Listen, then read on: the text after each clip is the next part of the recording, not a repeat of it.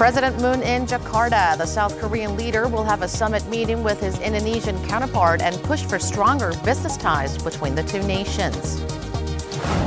U.S. President Trump in China. Trump and Chinese President Xi Jinping are set for a crunch summit in Beijing as the world closely watches. North Korea will likely dominate talks. The South Korean government rolls out plans to support small businesses that struggle to cope with the nation's rising labor costs. We have the details. President Moon Jae-in is in Indonesia on a three-day state visit. The South Korean leader has a number of times referred to Indonesia as a key partner in various fields throughout his young presidency. Our chief Blue House correspondent Moon Connyoung is traveling with the president, and she joins us live from Jakarta. Connyoung, fill us in. Well, Town, this is the second day of South Korean President Moon Jae-in's three-day state visit to this uh, Southeast Asian country, and the first leg of his eight-day three-nation tour of this region. Now, earlier this morning, the president kicked off the day at the National Cemetery, paying respect to the uh, independence fighters and the fallen heroes of Indonesia who sacrificed their lives fighting for their country. Last night, as soon as he landed in Jakarta, the South Korean leader and First Lady Kim Jung-sook hosted a banquet for Korean nationals living in this country.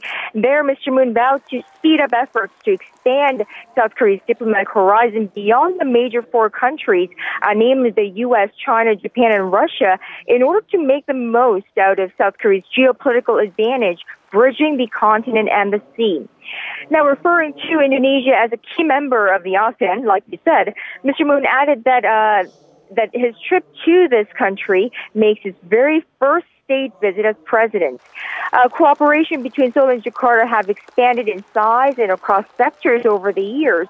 Today, almost 3,000 Korean firms are doing business in this market, and Indonesia is the only country working with South Korea in developing submarines and next generation fighter jets. Now, he pledged uh, customized support for the Korean community here, which was uh, founded a few decades ago, mostly by families of businesses that have tapped into the market. Town? Now, what dominates the president's itinerary today, the second day of his three day visit? Right. Uh, Mr. Moon's itinerary today highlights his Indonesia trip. Um, in just a while, the president has a huge forum with business leaders of both countries.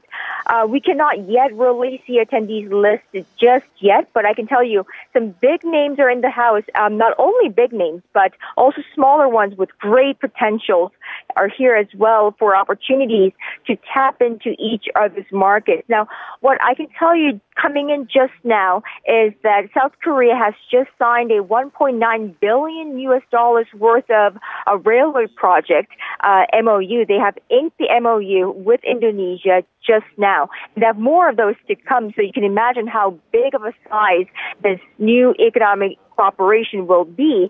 Uh, but here, the president is expected to deliver a keynote speech which will outline his new southward policy.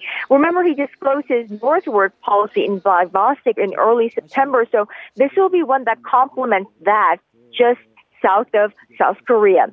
Now, after that, Mr. Moon will travel to the presidential palace, which is a, over an hour's drive away from the Indonesian capital, for a state welcoming ceremony, a one-on-one with his Indonesian counterpart, uh, President Joko Widodo, expanded bilateral summit, and a joint news conference. So today we'll definitely highlight Mr. Moon's visit here, and the two leaders are expected to discuss economics. Not only that, but uh, pro-defense project as well as uh, cooperation in terms of countering North Korea's nuclear problem. Uh, I'll make sure to keep our viewers updated throughout the day. Town?